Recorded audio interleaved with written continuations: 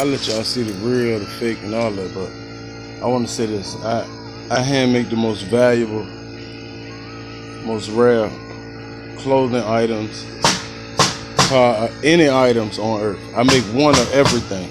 If it's a speaker, I make one. If it's uh, oils, I make one. If it's a drink, I make one. If it's clothing, I make one. If it's a keychain, I make one. It's Raw Squirrel Clothing money bags. I make one. I make the most rare, most expensive items on earth. And you can find them at It's a Man's World, 100 West Broad Street. Uh, I make one and I'm done. I don't make stuff for the masses. I make it for that one multi, multi, multi, multi, multi billionaire individual. That are done, you too can.